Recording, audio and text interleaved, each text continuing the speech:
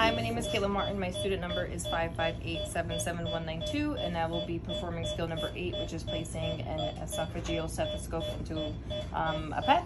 So I have my stethoscope here. I'm just going to measure um, down to about the fifth rib, uh, just so I have an idea of how far I'm going to go in with my stethoscope. So pretty much all the way to the to the tip.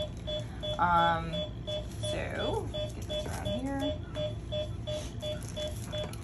And then I have my sterile lube.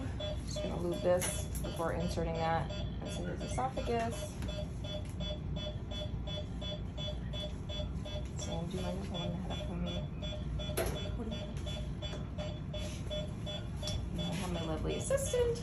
Who's going to hold the head up for me. And then I'm gonna take my laryngoscope so he is already intubated, so I can kind of cheat and know where I'm going. Um,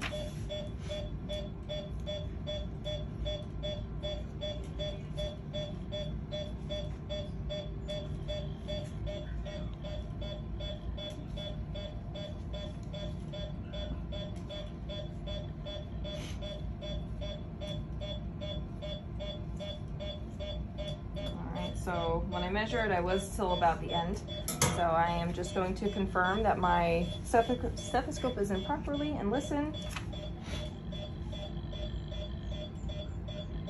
And perfect. And I have a heartbeat, so we're good.